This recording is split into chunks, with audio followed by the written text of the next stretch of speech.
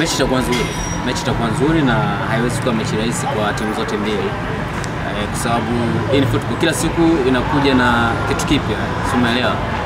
Uh, licha ya kwamba sasa hivi watu wengi wanavyoitizama hii mechi na kulingana na matokeo ambayo tumeona juzi, hasa kwa upande wa klabu ya Simba, nafikiri ni kama amekuwa hapewi nafasi kubwa sana kwenye mechi ya leo.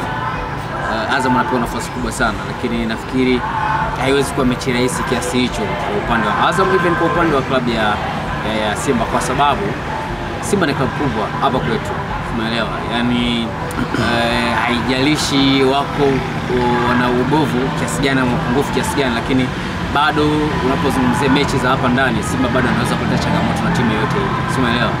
Lakini hata Azam pia miongoni mwa klabu ambazo sasa hivi licha kwamba hawako kwenye nafasi nzuri za kuwa mabingwa, nafasi ya kuwa mabingwa kwenye ligi kuu, lakini tunafahamu once tunapoja swala la Azam wanacheza mechi kubwa huwa anakuwa ni timu ya namna gani, sio? Kwa hiyo unaweza ukapata picha tu kwamba nature ya klabu ya Simba hasa kwenye ligi yetu ya ndani, achilia mbali mapungufu yake, bado anaweza kuchallenge na timu yoyote, na Azam pia kwenye mechi kubwa kama hizi, hata kama hawi bingwa wa ligi, lakini mechi kubwa Azam wanakupa game tough tu, umeelewa? Kwa hiyo ni mechi ngumu sana, nachoweza kusema hivyo kwa timu zote mbili.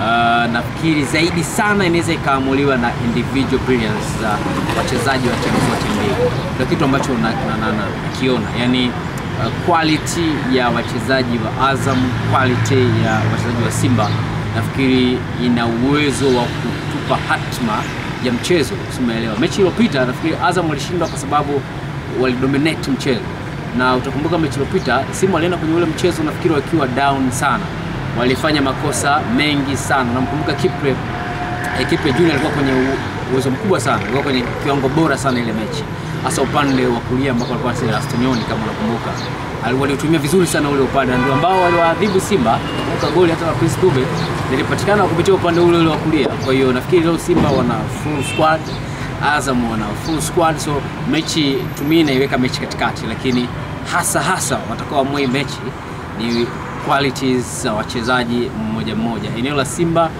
hasa la eneo la tackling, wakiwa kwenye kiwango bora, nafikiri wana uwezo wa kumfunga mtu yoyote kwenye ligi yetu ya Tanzania.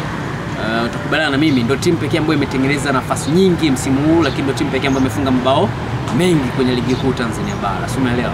Na bahati nzuri leo mtu kama Sadio Kanute yupo, ni mmoja kati ya watu ambao wamekuwa wanatengeneza balance kubwa sana kwenye kikosi cha Simba once akiwa anacheza, licha ya kwamba amekuwa anafanya fouls nyingi, lakini bado anabakia kuwa ndio base ya Simba hasa kwenye eneo la katikati.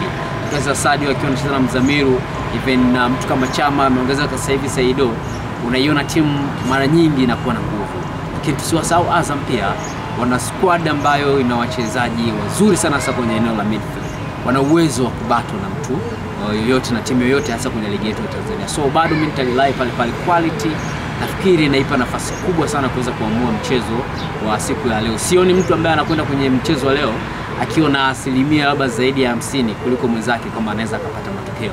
So natenga 50-50 kwa kila mtu baki kwenye quality. Naona hapo ndipo ambapo eh, matokeo yatapatikana hasa kwenye mchezo wa Simba versus Azam.